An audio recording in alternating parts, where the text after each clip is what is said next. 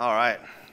I want to thank you guys for coming out uh, to this presentation. Uh, so what I'm going to talk about is procedural workflows inside of Houdini and the Houdini engine.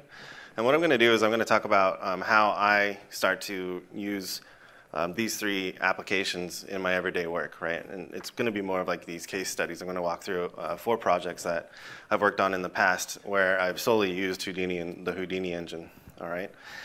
And my name is Kenny Lammers, and I've been working in the game industry now for about 20 years. I started out working at um, Surreal Software as an intern, and then I moved on to work at Microsoft Game Studio for a while, and then moved down to LA and worked at Activision Blizzard and worked on Call of Duty and a couple games down there, which was really fun. But I got really tired of LA, and so I decided to uh, move back to Seattle, and uh, again went back to Microsoft. Um, in 2011, I decided to leave and start my own company called Ozone Interactive. So I left Microsoft, and from there, you know, we started doing a lot of uh, just freelance work for Amazon and Microsoft and a bunch of different types of companies and a bunch of different types of industries too. It wasn't all just games, you know. A lot there's medical industry type stuff, you know, just prototype type MVP demos, mobile apps, um, all of it using um, Unity, and some of it using Houdini. So, what I wanted to do um, or what I do nowadays is I work mostly solo, and um, I, I, work through my name IndiePixel. So you can check out a lot of my work at indiepixel.com. And so because I'm a solo game developer, I have to look for ways to start to generate content really rapidly. And so Houdini and the Houdini engine really helped me do that really fast. All right, so what I want to do is I want to walk through a couple of the projects and just start talking about what I did and how everything works, okay? So uh, first things first, what I wanted to do is just kind of like lay down a foundation for what proceduralism is. Really, proceduralism is just a, a list of steps. It's a bunch of procedures, right, that we adhere to. Um, and it, it's almost the same as like even like stuff in like Photoshop, like an action script is kind of like a procedural list of steps. You know, it's it's a process that you take to create something automatic, right? Well, Houdini is actually a lot like that. It's a lot more powerful, obviously, than action scripts. But um, basically, we go through and we create these graphs that are basically the definitions of models, right? And the cool thing about it is that we can always go back to these graphs and change something in the graph and get a completely different result, right? So these procedural tools inside of Houdini allows us to do that. And that's one of the, the main, like, kind of fundamental principles behind using Houdini. Um, okay, so my current um, procedural stack, or what I like to call the procedural stack my, for my content creation pipeline is uh, Houdini, the Houdini engine. I use Substance Painter and Substance Designer and Unity. That's, those are the four applications, five applications that I use um, day to day. And it is completely a fully procedural process because what I can do is all my geometry is procedural. I can go in and change the shape of anything. All my textures are procedural, so I can go and update all of my textures. And that way, as a solo developer, I can go back and forth and iterate as much as I want, and I can, you know, really play around with, you know, levels or characters, vehicles, weapons, uh, even gameplay. All right. So that's my current stack um, at IndiePixel. All right. So where can we actually start to use proceduralism? Um, I, if if you're starting out with proceduralism, or Houdini or anything like that, and you want to start to mess around with it, I highly recommend starting out with just like props and, and game assets. Just making things like really small things like trees or taking something that you've done, like let's say a, a, fence, and not doing it necessarily inside of Maya or Max. Start doing it inside of uh, Houdini, modeling it procedurally.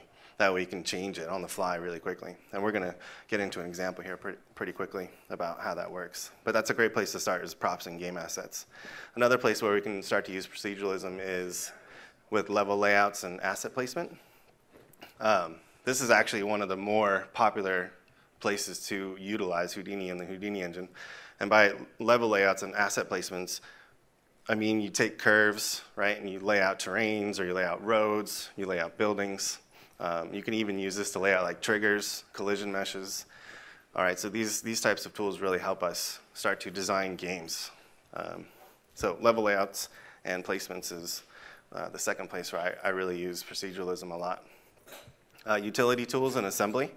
So utility tools are something like collision mesh type generation tools. um, or vertex color type tools. Let's say you get a whole bunch of models from a 3D artist and it doesn't have the collision meshes for it. Well, being a solo developer, I don't have the time to really take all those models and apply my own collision meshes to them. So I use Houdini to take all those models and create collision meshes for them or to add vertex colors. That's like a utility type of tool.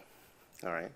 Um, I also use it to assemble things. So what I'll do is I'll take a bunch of like facades or let's say fence pieces and um, just draw a line and it'll take all those pre-made 3D models and just stamp it along that particular curve or it'll build a building for me, okay? So th those are like utility type tools and assembly type tools. And all this stuff can be done without any programming knowledge. Now I do know how to program, um, but what I, am really trying to impress here is that you don't have to know how to program to start to utilize proceduralism inside of your current game content pipelines. All right, you can use Houdini. Just use the nodes itself um, to start creating procedural tools. All right? All right, so the first case study um, is the guard tower course that I created for Side Effect Software. So they sponsored me to create this particular um, course. It's 29 videos long. It's all free and it's up on the SideFX website. So this is a great course to um, get introduced into how to start to utilize um, Houdini and the, the, Houdini engine for your uh, game projects, and specifically for Unity. Now, the process is basically the same for Unreal, um, but I use Unity all the time, so um, I don't use Unreal that often. So I, for the, inside the course, I did it all inside of Unity. All right, so um, you can go to the link at the bottom there and um, just start watching the courses. And it'll take you step by step. It'll literally take you from the beginnings of how do I start to connect the nodes together to start to create procedural assets. And this is, like I said before, these are the, the props and assets area. This is where I usually, whenever I'm teaching Houdini to people, this is where I tell them to start. Just start small. Don't try to, you know, proceduralize your whole levels because you're just going to, you know, uh, work yourself into a hole. It's a great way to start to learn how to use Houdini. Just focus on small assets. All right, so let's take a quick look at um, the little sizzle video.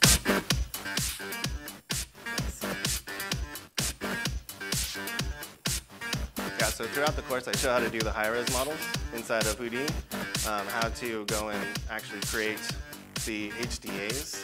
All right, that's a Houdini digital asset. This is what we import into Houdini. And inside of Unity, what you can do is you, can lay down something like a curve and build a wall, right? Or lay down sandbags. So it helps you move really, really fast. And all that stuff is all set up with Houdini graphs, all the nodes in there. But there's no programming at all in this particular um, setup right here.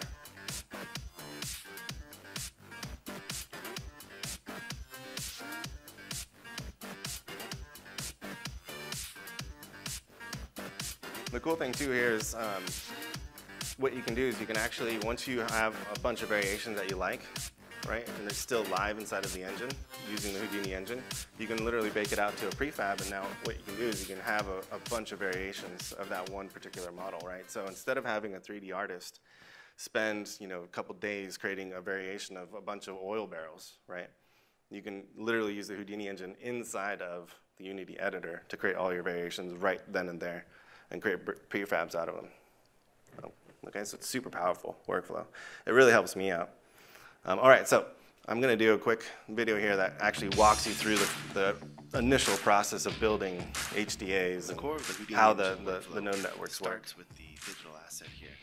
And a digital asset is a collection of nodes that basically assembles our procedural content here basically what it does is we start with a bunch of primitives. Here we have a grid. We apply some expressions to it, uh, a little bit of noise, do some grouping, and basically just run it through a bunch of procedures to end up with our final look.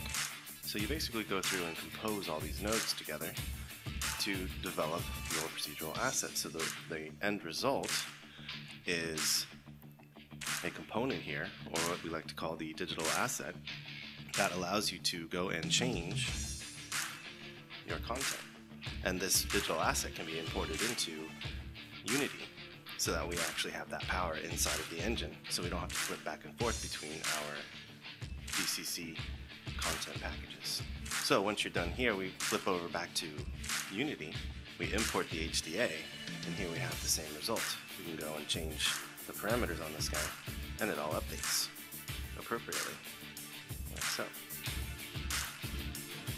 And you, all you need to do is just go and drag out another HDA if you want another version, just like any other game object. But this is a game object that has a bunch of parameters, so we can provide it a different type of mesh. It doesn't have to be an oil barrel. So this is where I'm It can be providing an actual 3D mesh that's I'm been just gonna add pre-made into the barrel here. actual HDA tool. And Right, so it doesn't have to be a procedural asset across the board. You Yeah. can start to Now create these hybrid procedural modeling barrels that we can techniques. Right, where you can have a fully procedural model, or you can have a procedural tool that takes in 3D meshes and generates until you hit the variations for you, kind of you hit the big prefab, workflow. You then get prefab that you can use over and over again. Let me reset, reset that here. Just drag this out. And there we go. So now we have a clean baked down prefab that is just geometry. So then what I would do at that point, right, is I, I would Alright. create another HDA So that that would generate all the collision meshes for and that particular really thing. It would just surround that particular set of oil barrels. Really is the core component to everything that. Uh, Again, this course is available for free up on the for SideFX website, and all the assets too are available for free, so you can pop open the HDAs and you know see how I built all the actual uh, node networks. Um, it's a great way to learn to see how other people uh, do it. It's how I learned. All right, so moving on. Uh, my next case study is a VR game that um, I just got done working on. We didn't actually finish it because the, the client, I think, actually ran out of money, but um, we got pretty far. We created three levels. It's pretty interesting because this is the first time that I used uh, Houdini to create literally everything uh, for the project. I, and I'm talking about the, the vehicles, all the weapons, um, all the terrains, literally all the assets for this particular game here. So let me play the trailer for you guys. And then I'll show you some of the assets. Oops.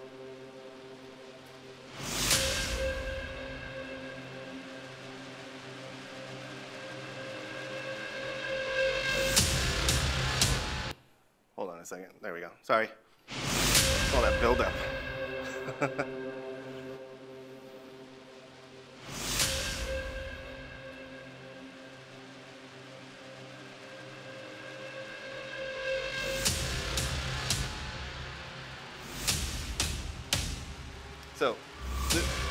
particular project, the reason why I had to use Houdini and the Houdini engine for it was because I was the only person working on the actual game. I did all the programming for it.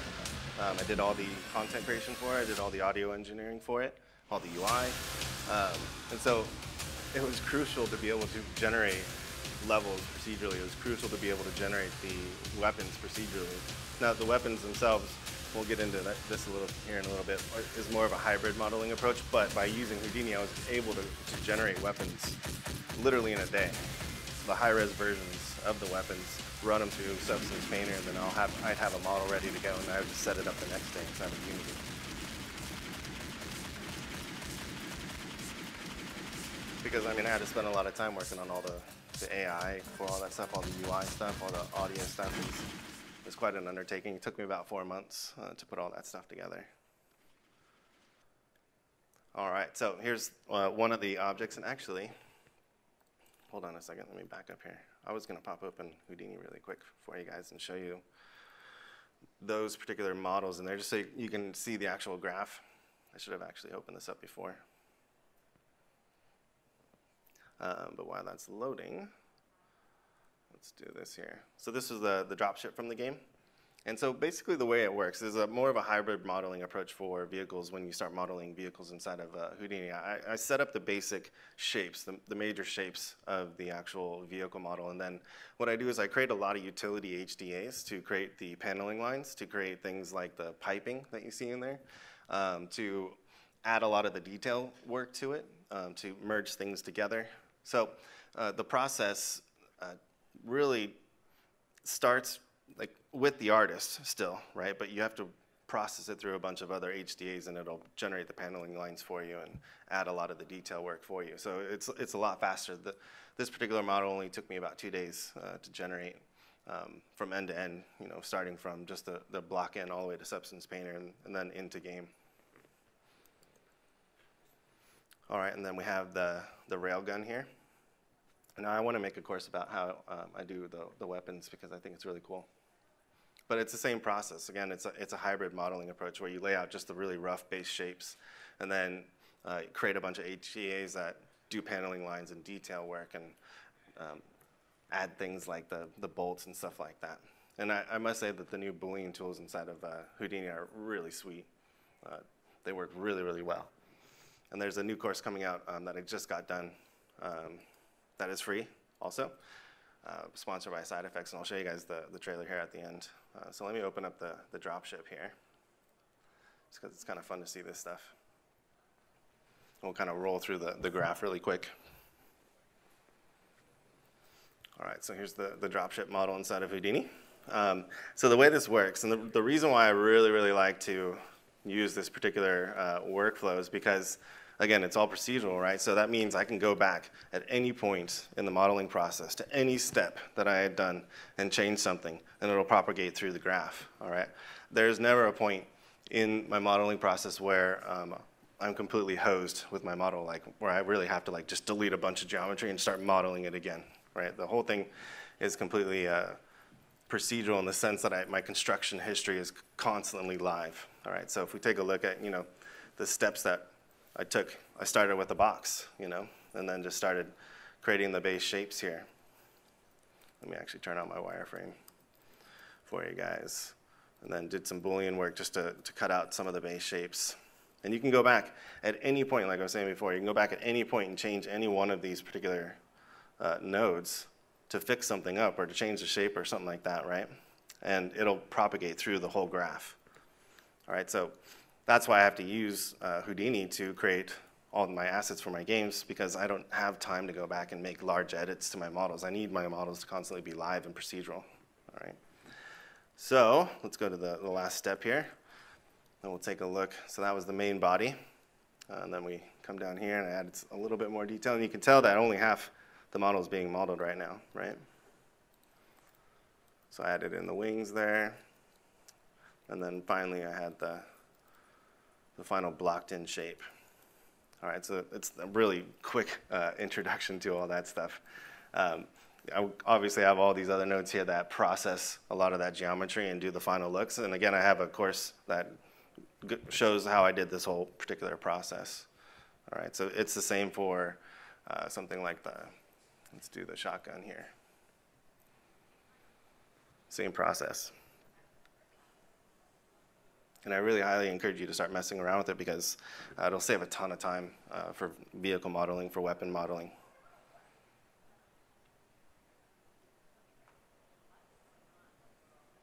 There we go. So it's the same process uh, using the construction history right here. So if we take, go through each one of these steps, you know, just create some of the base shapes and just build it up over time.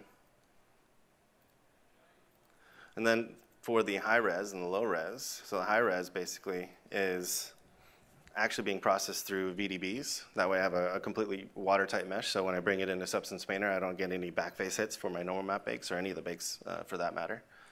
Um, so VDBs are really cool for uh, creating the high-res models inside of Houdini.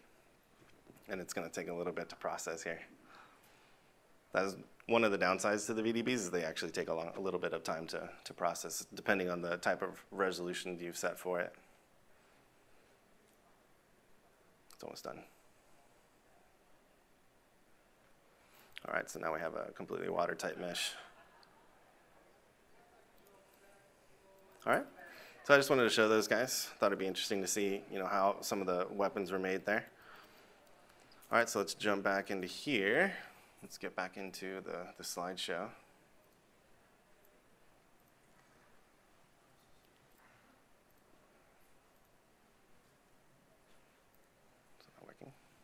Oh, do I already have, already have it rolling? Yeah.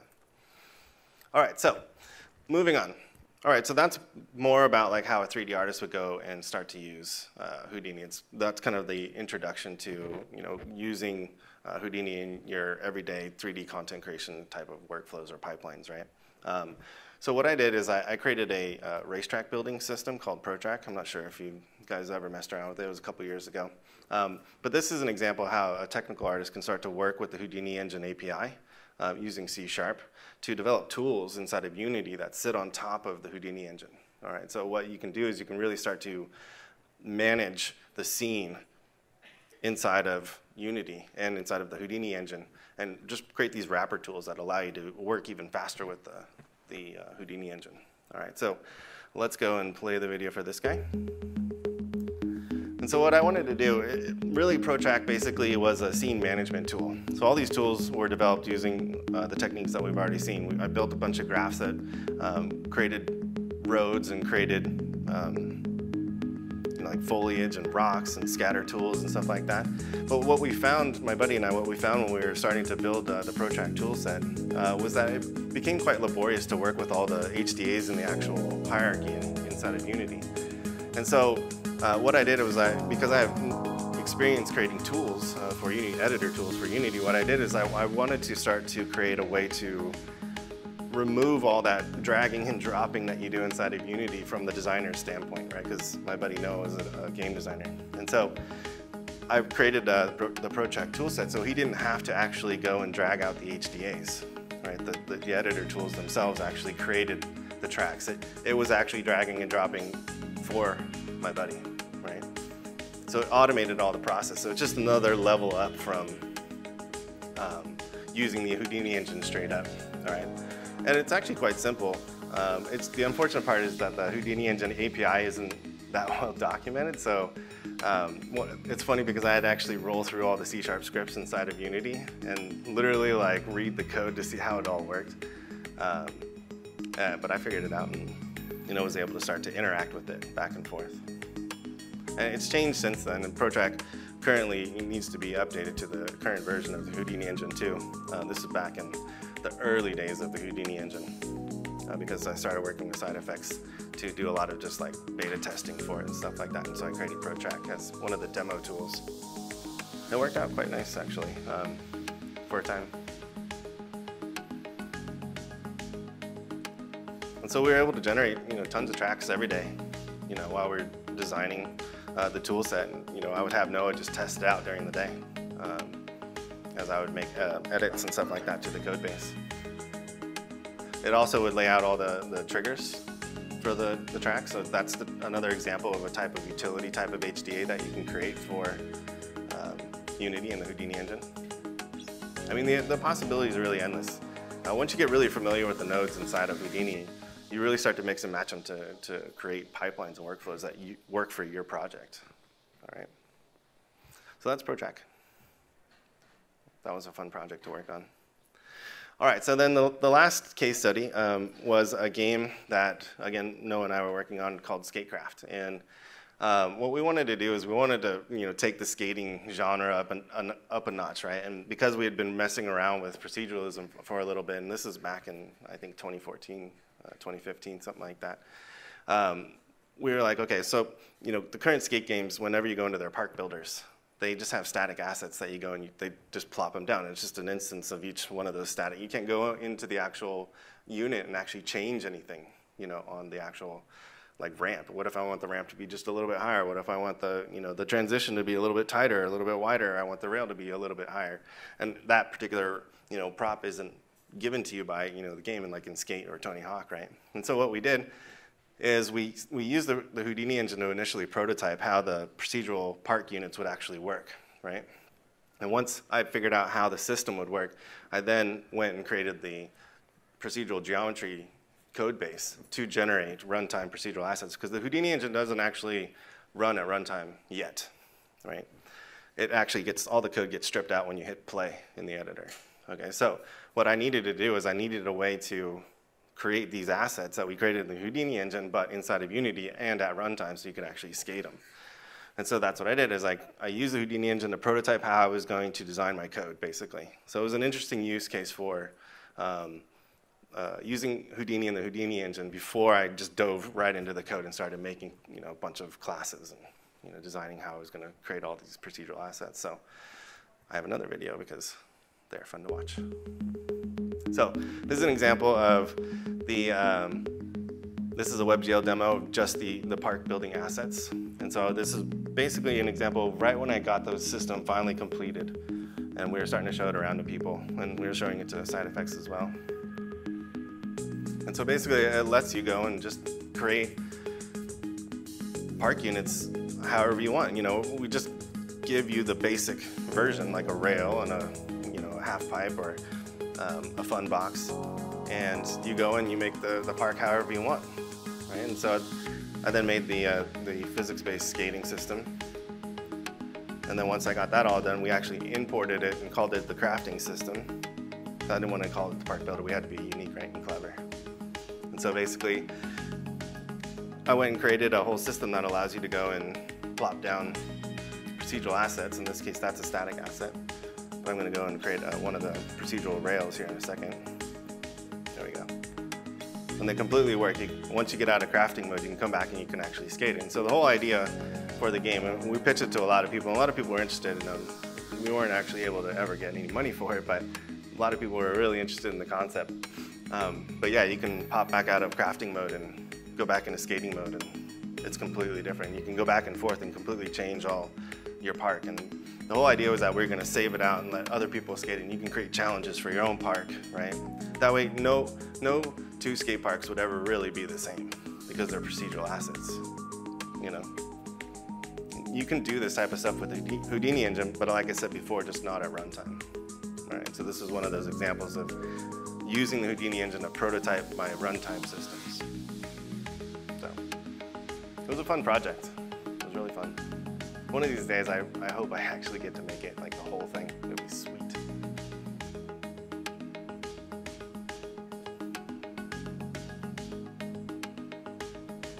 Oh yeah, here's the fun box.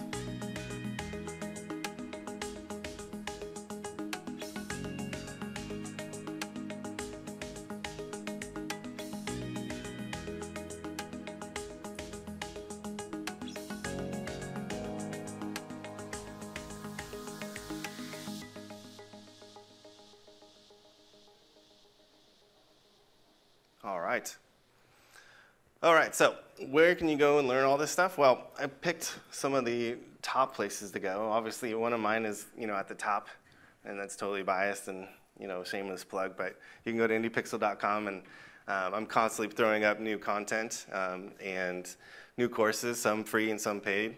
Um, you can go up to SideFX. I highly recommend if you're brand new to this, go up to sidefx.com uh, and the Learn website and start there because I have a bunch of great beginning tutorials up there that'll get you at least into Houdini, working with the nodes, starting to create the Houdini digital assets, and just working back and forth with Houdini Engine and Houdini and Unity or Unreal, whichever one you choose. Um, Rohan Dalvi is amazing. Um, Entagma, they're super awesome. That's really advanced stuff, but um, I highly recommend just checking it out because you can go up there and they, they do some amazing geometry generation type of algorithms and stuff like that. Um, and Anastasia, she's awesome too. She does amazing work as well. I highly recommend checking out her um, Lake House course. Again, it's an intermediate slash advanced course, but once you get up there, definitely watch that one. It'll blow your mind for sure. So, um, I'm going to play the um, next course that is coming out from IndiePixel that has also been sponsored by SideFX Software. And it's all about how I did the vehicle models uh, for drone damage. So here's the trailer. Uh, when it's done, you guys are more than welcome to ask Howdy questions. guys, IndiePixel here, and I'm super excited to announce that I have completed another course that has been sponsored by SideFX Software. And in this course, what we're going to do is we're going to actually learn about how to model a sci-fi vehicle completely inside of Houdini. Now, one of the, the core goals of this particular course was to look at how we can create more of a hybrid modeling approach to proceduralism. What I really am trying to impress throughout this particular course is how you can start to take elements of proceduralism and apply it to your current modeling pipelines just to expedite the process of modeling a particular type of vehicle. All right, so what we're going to do is we're going to look at how we can create individual tiny tools. Again, like I said, to insert proceduralism into our pipelines just to speed up the modeling tasks that we do over and over and over again. All right, so we're going to take a look at how to use booleans. We're going to take a look at how to set up the piping structures that are all created procedurally in this case. And we're going to just take a look at a bunch of different types of techniques to allow us to rapidly create and iterate on our particular models. You know, by the end of the course, what we're going to do is we're going to end up with the model that you see here inside of Unity and inside of Unreal. So we're going to walk through that process. Throughout the course, you're also going to take a look at how to lay out UVs for the dropship using a couple different techniques. So we're going to cover how to lay out UVs using the flatten UV node and also a couple of auto generation type of UV techniques. Plus, we're going to take a look at how this terrain is set up. And we're also going to look at how to prep your models for Substance Painter so that way you get the actual vertex color masks produced for you. All right, so by the end of the course, what we're going to do is you're going to have a full overview of how to create terrains inside of Houdini, how to create the vehicles inside of Houdini, how to create Houdini digital assets to take care of tasks like piping and detailing and cuts and paneling lines. And we're also going to end up by taking a look at how to set up the post effects inside of both Unity and inside of Unreal. So by the end of the course, you'll have this complete overview of how to set up vehicles using Houdini and procedural techniques. All right. So um, I finished it literally like a week before SIGGRAPH, so we're still getting the, all the videos up online. So uh, we're hoping to have it up here pretty soon, within like the next week or two. And so um, ch- definitely check it out. Um, I'll be posting the actual link on indiepixel.com and, and on my YouTube channel. Um, definitely check out my YouTube channel because I'm constantly posting uh, free videos on Houdini and Unity and Substance Painter, all those awesome packages. So thank you guys very much for coming out. Thank you.